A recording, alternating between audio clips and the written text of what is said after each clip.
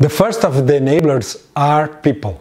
You, your colleagues, people that are working with you or not, talents. And you have seen this picture before when I talk about you and AI. And we see that we depend on people to manage all the, the elements in this function. In different phases of the process to get the value, people is one of the most important enablers. Let's put some name of the people in this picture here, yes? Everything, as I said, starts to define a situation. Who are the ones that really understand the problem, the opportunity, or are curious about how to, to fix a situation?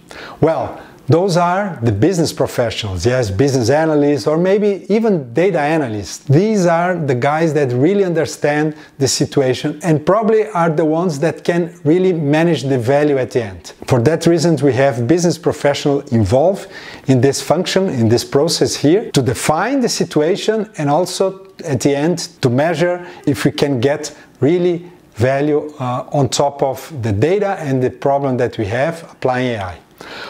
Next step, who really understand how to manage the data? These are the data engineers, the data analysts. They understand how to manage the data, they understand how to, to get insights from the data, and also they are very important during the process to apply AI. Then, machine learning engineers. Machine learning engineer or AI engineer, doesn't matter the name that you, you call them. In fact, they are the ones that really understand how to use the technology. They are the ones that understand deeply the technology, yes, and how to apply. And then are some other roles here, uh, some enablers, yes, software developers, software engineers, and sometimes even machine learning engineers to help to get what we have built and put in production because it's just only when something is in production to, to get access to really data in the real world is when uh, we can get the value. For that reason, it's very important to have people involved in this phase of, of the process when you took a model, for example, and, and put the model on production. And software engineers, software developers, machine learning engineers are responsible for that phase.